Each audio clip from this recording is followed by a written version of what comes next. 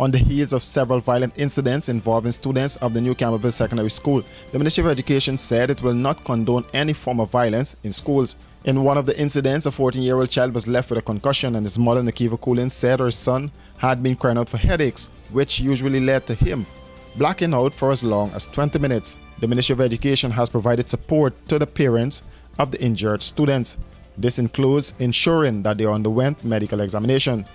The ministry noted it has embarked on a series of actions to address the indisciplined behaviors of the students at the institution. According to the ministry on September 9th, a video circulated on social media showed a female student striking her female classmate about the body. Similarly, on September 15th, a fight involving two male students was reported to the Ministry of Education. In the video which circulated on social media, one of the students was kicked and stomped his head by another male student.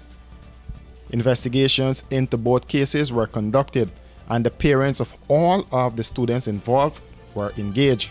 Further, the ministry posited that following meetings, students who were found to be in breach of the Ministry of Education's policy on the maintenance of order and discipline in schools were sanctioned in keeping with the set policy document, which includes expulsion, suspension, and mandatory psychosocial counseling.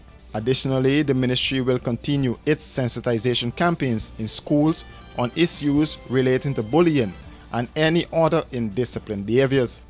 The ministry said it remains committed to ensuring that students can be in a safe and conducive learning environment.